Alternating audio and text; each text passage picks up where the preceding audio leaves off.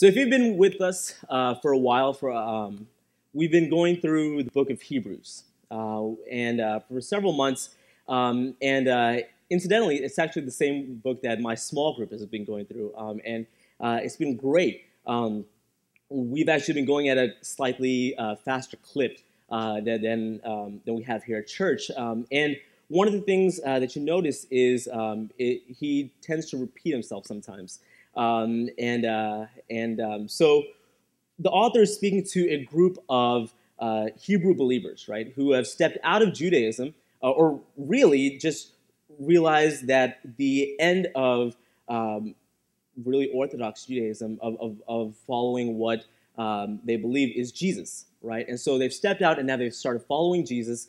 Um, and um, recognize Jesus as the Messiah. He's the hope of the world. He's the one that they've been waiting for their entire lives, or their entire culture um, and people group have been waiting for. Um, and so they start following him.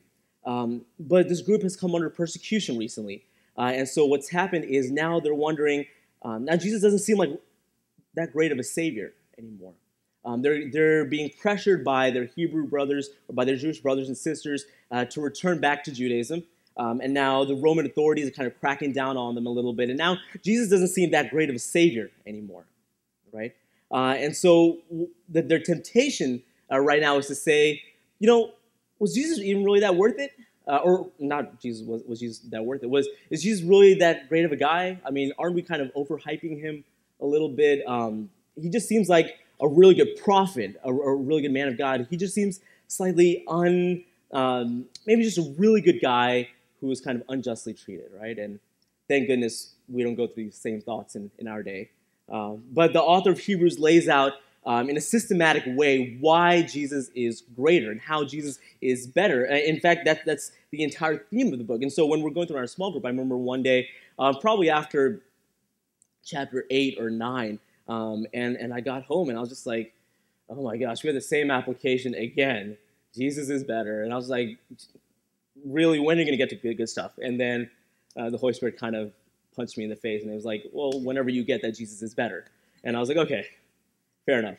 Um, and so in, in, a bunch of letters, he, he explains logically how Jesus is better, how Jesus is greater. Um, and so he's going to say Jesus as the Son of God is greater than the angels. And so we better listen to him, um, the revelation that he brings. And then uh, he says Jesus um, is greater than Moses. And, that and so we look to him as our um, great uh, prophet who leads us into the rest that God has to offer. And then he says, Jesus is our true great high priest um, from heaven who intercedes on our behalf. Um, and so we, we look to him, we come to him. And then he, he gives us this little teaser, or at least for, for the Jewish audience, is a teaser. He mentions this guy named, named Melchizedek, right? And Melchizedek, he's this guy, he has like two lines in the entire New Testament, and he has confounded Hebrew or Jewish scholars for years, or not for years, for centuries, right? So for a long time, everyone's been trying to figure out who this guy is, why he appears in Scripture. He's apparently a priest of God, but no one knows where he came where he came from. And so the Jewish believers are he mentions him, and so now they're like, okay, wow, he's he's got his audience hooked, right? And then he stops, and that's where we find ourselves this morning. Um, he gives a big pause, and um, and he's going to literally call his audience a bunch of babies, right? A bunch of children. It, this is a great, uplifting, encouraging sermon, trust me. Um, but he's going to call them babies. And um, the sermon's just been, uh, or the text really has been um, interacting with me a lot. Um, it's been convicting me a lot, um, even to the point even this morning. Um, and I pray that it it, it, does the same for you guys. Um, but, but, but here's where we're going with this. Um, here's what the author of Hebrews is going to say. Uh, he's going to say that it is the mark of every healthy Christian to be spiritually growing by uh, and maturing by hearing and responding uh, to the Word of God. Let me read that again. It is the mark of every healthy Christian to be spiritually growing and maturing by hearing and responding to the Word of God. Um, so if you've got your Bibles, uh, you can open up to Hebrews chapter 5. If you don't have a copy of the scriptures, uh, it'll be up on the screen behind me. Um, we're going to start at verse 11, and we're going to go to 6, verse 3. Now, about this, we have much to say, and it's hard to explain since you have become dull of hearing. For though by this time you ought to be teachers, you need someone to teach you again the basic principles of the oracles of God. You need milk, not solid food. For everyone who lives on milk is unskilled in the word of righteousness, since he is a child. But solid food is for the mature, for those who have their powers of discernment trained by constant practice to distinguish good from evil. And therefore, let us leave the elementary doctrine of Christ and go on to maturity, not laying again a foundation of repentance from dead works and of faith toward God, and of instruction about washings, the laying on of hands, the resurrection of the dead, and eternal judgment.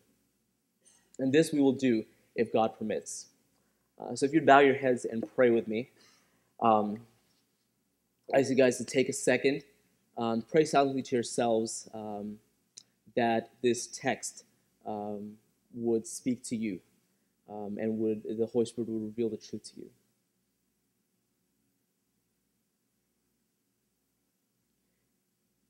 And now, would you take a second and uh, pray for me that the Holy Spirit would speak through my words, um, speak despite my words, um, and that Jesus will be glorified.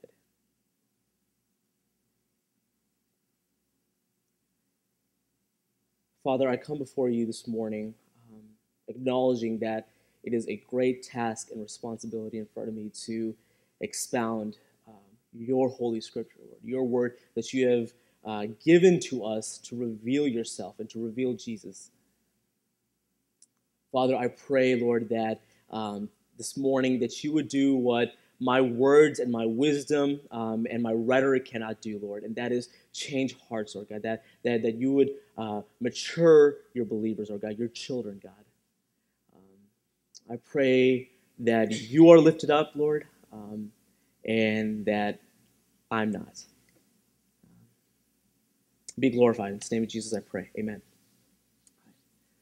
So, this text we have here, what he's saying is, um, he's saying, look, again, he's talked about the, the high priest, and he's talked about Melchizedek, and now he's saying, look, takes a pause, and I want to tell you more about this. Okay? I want to tell you more about this, but there's a problem um, because, and, and, and not because it's, it's a complicated thing to, to explain uh, not because it's it's it's something um, that that I can't use with words, but there's the problem is because the audience has become dull of hearing, right? And other translations will have sluggish uh, in hearing, um, and so uh, this. In, in, order to expound, we've got to figure out what this means because honestly, this is not just a phrase that we use every now and then, right? Um, we don't use dull of hearing. No one here has ever accused someone else um, of being dull of hearing. Um, if you have, um, come talk to me and I'll give you, you know, a list of words we use in the 21st century. Um, but, and so, so we need to figure out what it means. And that word dull, what it means um, in, in, the Greek, it means sluggish, it means lazy. And so what he's saying is, I can't explain this to you because you become lazy of hearing. And so that still gives us a little bit of problem. Um, but what he's saying here um, is that you're not actively listening, right? And so, so we kind of understand this at, at some level because we know nowadays that or we distinguish between hearing and listening, right? Um, and so he, uh, they're both kind of mean the same thing. They both involve the same processes, um, but he, uh, in the fact that you you know you hear um, audio notes. I'm, I'm, not a speech pathologist. Um, you, you, hear things. It hits your you know the sound waves hits your eardrums, um, and so. But what happens is is a difference, right? And so so you can sit here and you can hear me, um, but you can hear me kind of like uh, you hear the traffic as you're sitting on 635, right? Or as you hear the music uh, when you're in the doctor's office. It's just it's kind of background noise. Um, and the other difference is you're listening. And when you're listening, it's the fact that you are hearing, but then it actually does, you actually actively engage in it, right? You, you do something with it. You, you, you work with it. Um, and so uh, if you're a guy in here, um, you know exactly what I'm talking about um, in, in well, if you're a guy and you're dating someone or you have dated someone, and I would think that if you're married, then um, people don't change too much. So I, I, I think uh, if, if, you're married, then it's the same thing, right? Um, and so um, I've, I've, been in situations before where um, you know talking to a girl, and, and, you don't even have to be dating her. You can just be talking to a girl, right? And and most girls just talk, and then they'll keep talking, and talk and talk and talk. Um, I, I, don't know why, but they love to, my sister loves to talk, right? And so after a while, um, girls, here's a free one. Guys kind of have ADD after five seconds, right? And so girls are talking, and so then we start, you know, thinking about, you know, sports or or food or, or, or the playoffs or TV or you know movies or the life cycle of an amoeba. I don't know. You know, we, we, our mind just wanders, right? And eventually, uh, the girl is kind of smart and she realizes that the guy is physically there, but he's not mentally, right? So um, she'll say, "Hey, um, did you hear me?" And and guys, you know, we if, if you're good at it, you kind of catch certain words and you snap out of it. Yeah, yeah, baby, I heard you. Um, and and then uh, and then you know you'll repeat the last five words that she said, and and um, it's okay, but. Um, and I can attest to this because I've had this had multiple. Yes, but did you listen to me? and then that's when we get in trouble, right? Uh, because there's something different that happens when you actually actively engage in what's saying. Like, like it, it, comes down and uh, you're working with it. And that's what he's getting at when he says dull of hearing. It means you're not listening, you're not paying attention, uh, and so you're not understanding. Um, the writer goes, I have so much I want to tell you, but it's hard um, because you're not paying attention to any of it. Uh, right? They've gone to a place where God's word and the gospel frankly had lost its appeal. It wasn't as exciting to them, it wasn't as beautiful, um, it wasn't captivating them, it wasn't enthralling them, it wasn't beautiful, and so they weren't engaging in it, it wasn't changing them. They heard it, but they weren't listening to it. And what happened is when they weren't pursuing the gospel, other things uh, began taking their, their minds, right? They're pursuing other things with a greater passion, concentrating their efforts um, and thoughts and endeavors on, on other things, you know, things like occupation, uh, and their culture um, and their services. And somewhere along the way, the passion for the gospel just sort of died. And the author, and the author says, and this is how I know you're not uh, listening, because you guys ought to be teachers by now. All right? Um, but you're not. There's a clear indication here. What he's saying is that there should be growth uh, in the Christian life.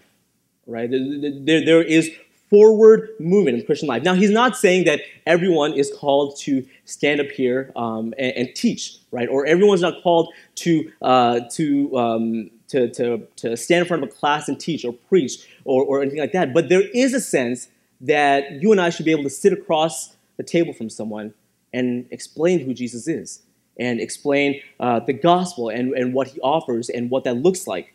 Um, there's a progression in the Christian faith that if you're following Jesus, you should be growing in knowledge and understanding and faith. You should eventually be maturing into a leader or into a teacher, sorry. And so you're not listening, and even though you should be teachers, uh, you should be teaching others about Jesus, you can't because you can't even get these elementary principles, right? And so it says in verse 12 So, for though by this time you ought to be teachers, you need someone to teach you again the basic principles of the oracles of God. You need milk, not solid food. For everyone who lives on milk is unskilled in the word of righteousness since he is a child. And I'm not sure if you just if you caught this, but he just called his audience a bunch of children. Right? He says, look, what you're supposed to be doing is you're supposed to be, you know, chewing on some steak, but instead you're you're just sipping on a bottle. You're just drinking milk, right? Only children, only babies need milk. Um, we, we, we kind of know that, right? Our, so our pastor Sam and his wife are expecting their third child, third child, and so we are celebrating with them. We are happy uh, for them, you know, for, for another little rugrat running around here. Now, if in a few months um, Sam and Anne bring their baby here, and the little baby boy is sitting up here and or sitting on, on the chair or in his little thing, and he's sipping on a bottle of milk, right? None of us say, "Oh, oh, stop that!" You know, that's just disgusting. Stop it, right? That that's weird, right? Because it'd be normal for a baby to be sipping on a bottle of milk, right? Um, now, if in a couple months uh, Sam shows up here and he's rolling around the ground, he's got a bottle of milk in his hand, um, then something's off, right? I mean, I love the guy, he's my pastor, but I'm calling the cops and pulling the straitjacket out, uh, right? Because grown men don't get their nutrition from baby bottles of milk, all right? Um, now, he's not saying that milk is bad. Okay, so, so, so, so, don't get that. Milk is not bad because if you're if you're young in the faith, Milk is good. Milk is what grows you. Um, if, if, you're, if you start following Jesus, uh, drink it up. Um, but don't be ashamed of it. It'll strengthen you in your bodies. But if you've been following Jesus for 15, 20, 25, 30 years, and you're still sipping on a bottle, bro, you got to grow up, uh, is what he's saying. Um, if we saw a 28 year old solely living off milk, we would not call that normal. In fact, he probably wouldn't even look very normal. Right? He wouldn't look very healthy. Um, if a person is still a baby when they're old enough to be a teenager, old enough to be adult, there's something very wrong. Now, we, we know this process uh, uh, about babies because Jesus talks about it. Uh, one day, um, a, a, leader of uh, the Jewish synagogue approaches Jesus, uh, and Jesus tells him, You have to be born again. And the guy's like, What? You want me to get back into my mom's womb? I, I can't do that. And Jesus says, No, you have to be born again. It's this, this concept that we know that if you're in Christ, you're a new creation, you're a new creature. And, and so there's a process where you grow. And so this audience, they can't handle deeper teaching because they're still only accustomed to processing the milk. And so, church, the question is why are they not maturing? Right? That, that, that's the obvious question. Why are they not growing? Um, verse 14 tells us, But solid food is for the mature, for those who have their powers of discernment trained by constant practice to distinguish good from evil. And here it is. The reason they've stopped growing is because they've stopped living out their faith. Right? Um, and, and this is a result of dull hearing. They've stopped applying the truth that they know into how they live. And they've become stagnant, staying in this perpetual state of infancy. And they're no longer responding to the revelation of God that they had received. See, the, the dull of hearing is not a physical issue, right? It's not a physical issue, it's a spiritual issue of the heart. Because what it means is you hear the word of God, and it comes into your ears, but then it gets down into your heart, and then it's met by a hard substance. It's met by, by a hard or a heart that's getting hardened. And it's not, it's not embraced uh, with faith and love. The teaching is not. It's not a physical problem. And maybe you'll hear the gospel and, and maybe you know you'll, you'll get some warm feelings about it. Maybe it'll get you some, some warm fuzzies, and, and, or maybe you'll feel good about it but then you walk out the doors and your life doesn't look any different. Your life is not changed by the truth that you've heard. Your heart is not warmed by the fire of the gospel. And you know that you know that Jesus has forgiven you of all your sins, right? You know that you're a new cre- creature, but you have a hard time forgiving others of their sin. See, a mark of Christian maturity is that you hear the word of God and you respond to it. The word of God reveals the will of God. Uh, it reveals who we are in Jesus and our standing with Him and our righteousness in Jesus. And in fact, it reveals Jesus Himself. But you're not. But if you're not responding to any of those truths, then you're not growing. You just gain a bunch of head knowledge, right? You, and, and what happens is, if you know the Word of God but you don't do the will of God, you just become a really educated spiritual infant. See, somewhere along the way, this group of believers, they started off well. They started off with a passion. They started off growing, they were changed by the word of God and, and, and it changed something in them. And they began following Jesus and they were growing. And then something stopped. And they stopped practicing their faith. Even though they still professed Jesus. And, and that's they didn't completely walk away. They're still professing Jesus. They're still going to uh, church, but they just weren't living it. They're not applying the truth that they know. See, spiritual infants have no problems hearing the word of God. You know, in fact, they probably hear it a lot. Spiritual infants probably, you know, read devotionals a lot, and they might listen to eight different podcasts and be in four different small groups, right? And and and they'll attend church uh, on Sundays, you know, and, and and tweet Bible verses, right, encouraging uh, verses, and you know, 140 characters or less. And they hear the word of God, and they'll say, "This is great. This is beautiful. This is what I needed. Isn't our God great? Isn't the gospel great?" And they'll hear it and they'll walk out the doors and nothing will have changed in their lives. They, they know the truth, it's all up in their heads, but they don't live it. See, nothing will change before, and they'll continue struggling with the same sins, right? Sins that I struggled with five years ago, I'm still struggling, 15 years ago.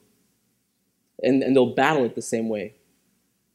See, Paul will use um, this term infant in 1 Corinthians uh, chapter 3 where he'll say, "Look, I want to treat you as older, um, as, as older Christians. I want to treat you as mature, but I can't because you're still living after the world.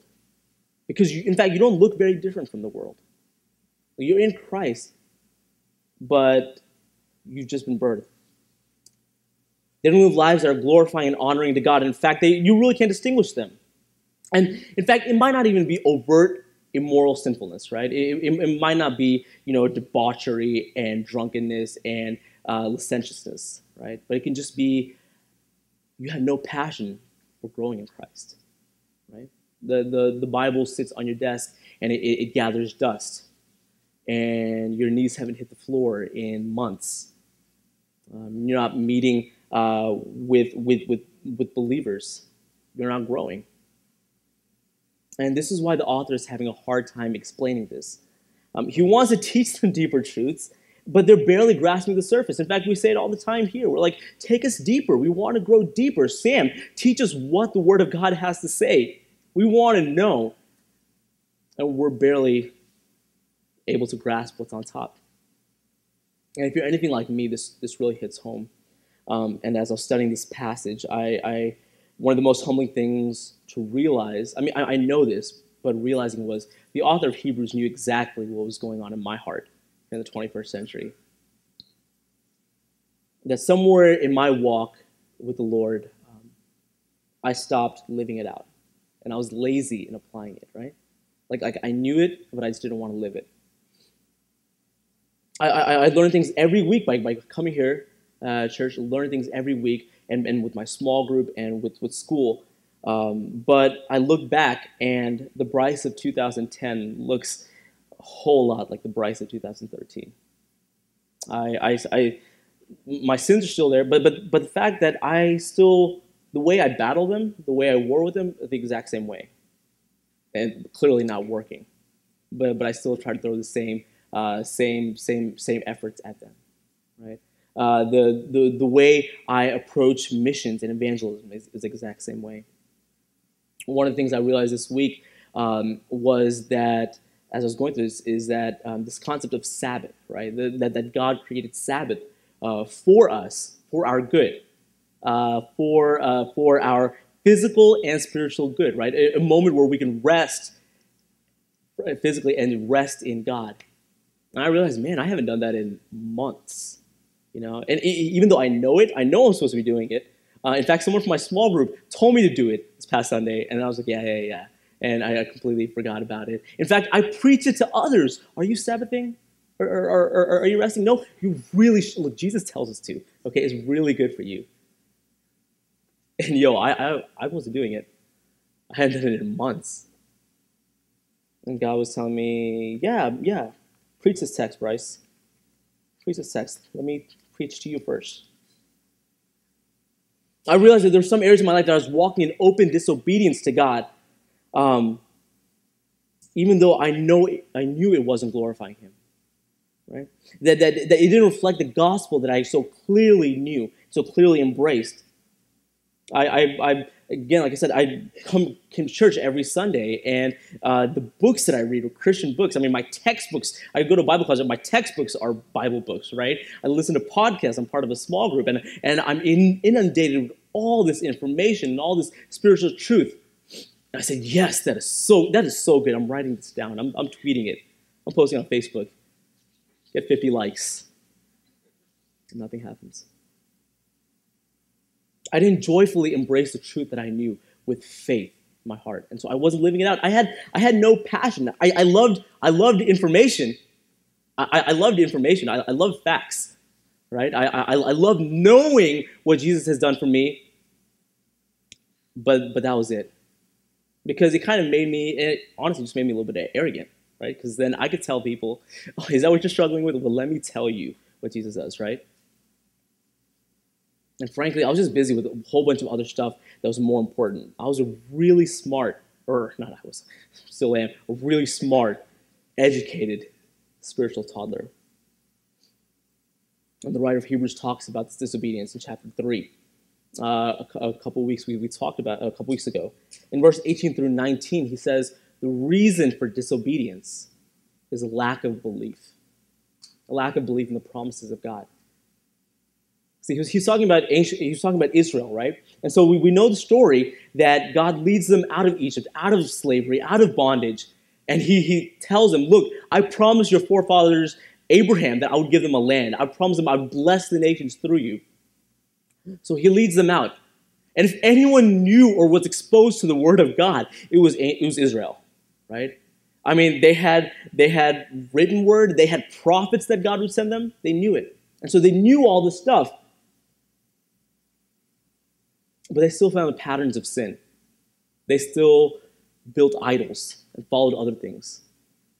If anyone knew who the Messiah was going to be or what he was going to look like, right? What he was going to do, how he was going to draw all people to himself, it would have been them.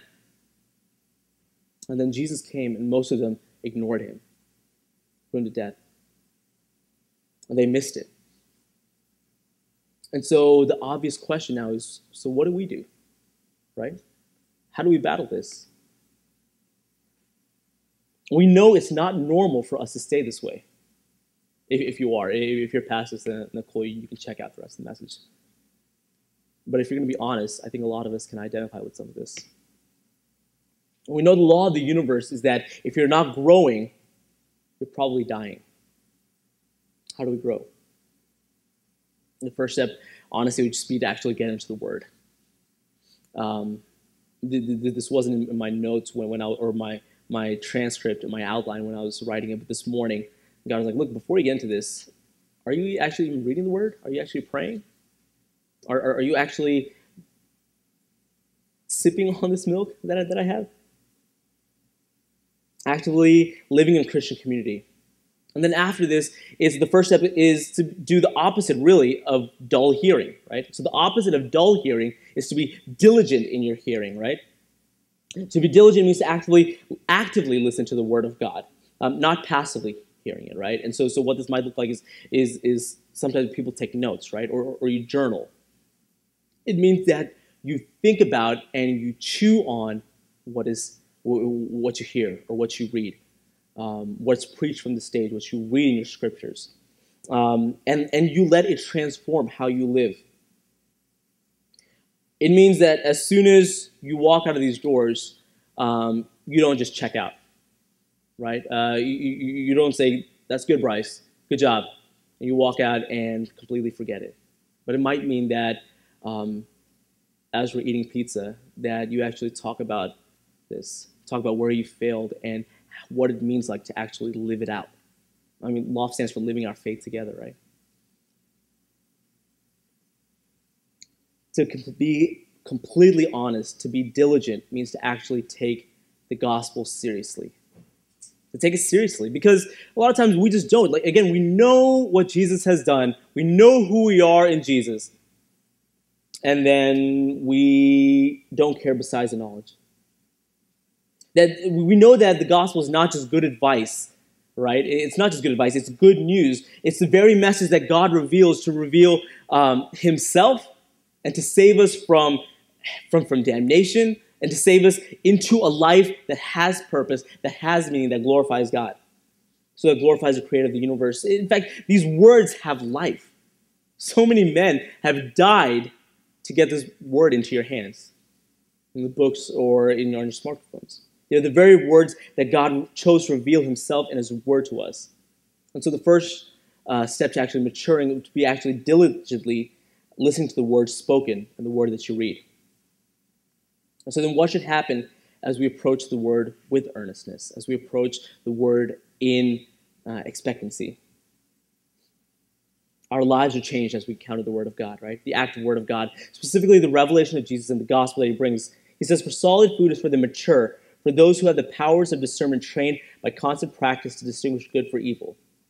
See, those who mature are those who actually practice righteousness, or practice doing good, rather, doing what they have learned. And by constant practice, practicing righteousness, we learn what honors God and what doesn't honor God. What, what, what's beginning to happen in this audience is becoming, when he says, uh, verse 14, uh, 14, distinguishing good from evil, a lot of it has kind of become hazy, right? Um, things that weren't explicitly stated uh, within the law or within the Ten Commandments. They're just like, well, do we do this or do we not? Is, is this is this really sinful or is it not? Is, is there grace in this? And we start living lives of righteousness once we live out our, uh, our, our, our, beliefs that reflect our righteousness that is found in Jesus.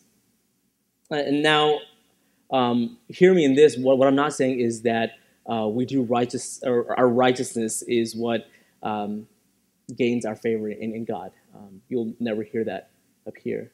Um, in fact, we, we know that. Um, but the Bible is pretty clear that if you follow Jesus, if you're in Jesus, what will happen, what is supposed to happen, is you live life, a life that, that pleases God, uh, that pleases Jesus, that, that reflects the gospel, the good news in you. We do good news, uh, we do good deeds because it reflects who we are. And so we serve the needy because we know that Jesus met us in our neediness and in our filth, and he became a servant us. And so we forgive others because, eh, you know, 70 times 7 because we know that Jesus has forgiven us. And so we forgive even those that we think don't deserve forgiveness. And we live on mission. We live as as reconcilers, as, as, as, ministers of reconciliation, because we realize that we're not citizens of this world, but we're citizens of an eternal kingdom where we're not the kings, Jesus is. And we actually live in biblical communities because Christian life was never meant to be lived alone. It was meant to be lived in community where we're lifting up one another and growing. And we root out and we kill the sin that, that, that, that's attacking us because we know that in Jesus, our, our sin natures have died. And so we put to death the sin nature that tries to overpower us, that tries to take, take, take its place back. And we actively engage in that. The gospel reveals that we're all sinners, but its promise is that we don't have to stay that way. So we hear the mark of a mature believer is that they actively apply the truth that they know, that we actually do it, right? We actually obey Jesus. What a novel concept. And with the help of the Holy Spirit, we actually begin to live differently. And as we hear and respond to the Word of God, our capacity for hearing and respond to the Word of God grows. That's when we actually begin maturing. That's when we actually begin taking in um, mature teaching. And thus, solid food, heavy truth is for the mature. Is for the mature because maturity increases your capacity for greater truths. And when this process stops, so does the growing process. Because as long as we're hearing and responding, we're growing. And so finally, we get to chapter 6, verse 1 through 2. Um, and the writer of Hebrews urges us on to maturity by um, this one more thing. He says, Therefore, let us leave the elementary doctrines of Christ and move on to maturity, not laying again a foundation of repentance from dead works and of faith toward God, and of instruction about washings, laying on of hands, of resurrection of the dead, and eternal judgment. Now, what he's not saying is that we move past the gospel, right? It's not, not saying that we move past Jesus. In fact, his entire purpose of writing Hebrews is that you don't move past Jesus, you stay on Jesus.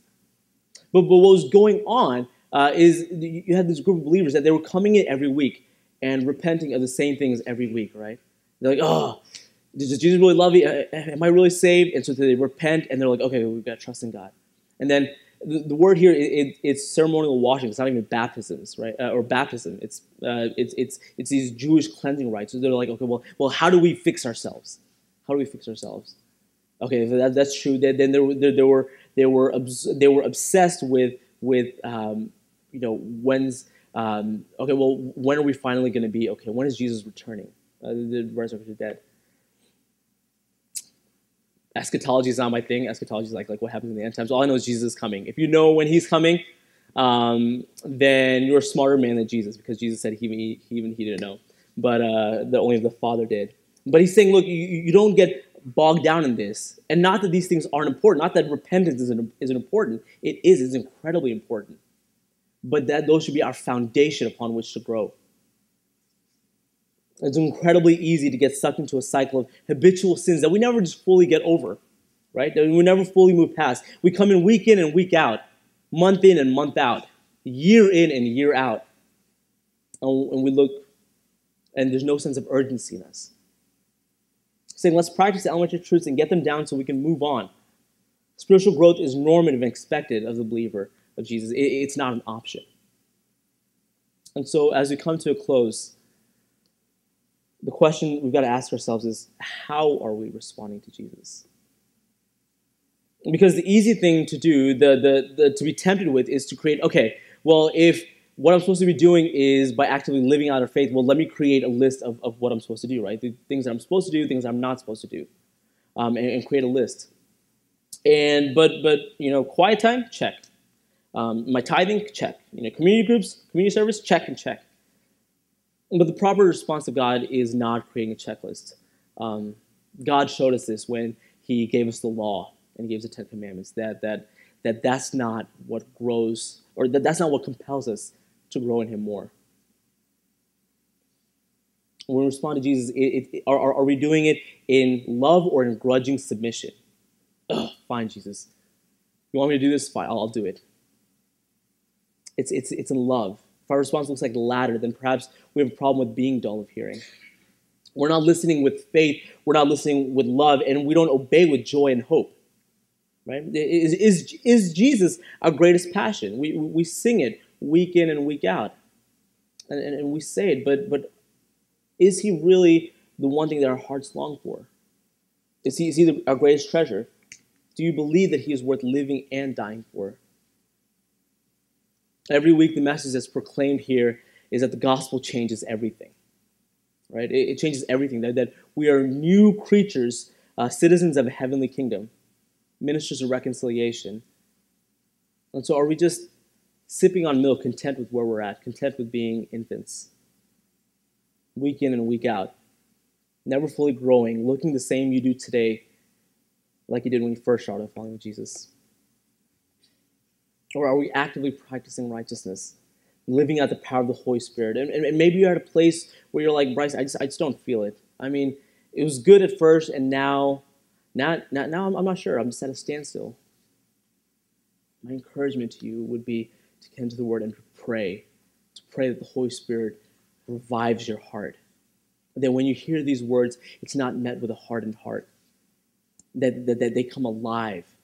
That He empowers you to actually live on mission. The scripture makes it clear that Jesus is our greatest passion, our greatest treasure. And we strive for obedience to the word of God that centers on Him. We, we practice righteousness to glorify Him because we are His children. That if we are Christians, we are to be hearing and responding and living out the truth that we know. This morning, um, we have a chance to uh, actually um, reflect this. Um, here at Loft, we, we have communion every Sunday. Um, and the way we do it um, is we recognize that it is a symbol of a spiritual reality, right? Um, and so, so, so we don't think that these are, are, are, magical crackers or pieces of bread or, or, or magic. It's, it's, it's crackers, gold, maybe goldfish, and some juice right? Um, but what it is, is it represents something totally different, right? It represents that Jesus looked down upon earth, upon creation, knowing that, that in all our best efforts, we could not please the holy God of the universe. We cannot keep a list of rules or commandments, right? And so what he did is he came down, he put on flesh, and he lived the righteous life that we are supposed to live. And he died an unjust death so that we may be reconciled to him. And so, in that truth, we are new creations, church. Brothers and sisters, we, we are, are, are not the we, we are not as we were. We are citizens of a heavenly kingdom. Pray with me. So before I pray, let me say something real quick. Uh, if, if, you're new to Loft, um, the, the way we do it is the band's going to be singing up here. Um, and as you pray, pray that, that, that the Holy Spirit would, again, move you to maturity. But as you're dealing uh, with yourself, um, as you feel led, as you feel compel- compelled, um, you can walk over and partake of the elements. You can grab uh, a cracker, you can grab um, a little cup of juice, uh, and, and bring it back to your seat. And then once everyone's partaken, we'll, we'll take it together. Um, and in this, we'll recognize the sacrifice of Jesus. We'll recognize our position in Him. That our righteousness is not in ourselves, but it's in the holy work of Christ. Let's pray. Father, we recognize that we stink at this, God. Lord God, uh, that we are stuck in states of just spiritual infancy. We should be growing, should be maturing, Lord God, but, but but but we just get lazy a lot of times, God. I get lazy a lot of times. Father, would mm. you remind us, mm. Lord, of who we are if we are in Jesus? And if we are His own, Lord God, that that He loves us so deeply, Lord. That He died for us, Lord God. That, that He died, Lord, so that we might have actually communion with you, God. We might have fellowship with you. I pray, Lord God, that that this that the reality, Lord God, that's symbolized here, Lord God, will come alive in our hearts, God. Would walk out these doors and walk into the world as changed people, God. As people on mission, as people who live their faith out, God. Not as hypocrites who just hear and don't live, but as true sons and daughters of Heavenly Father.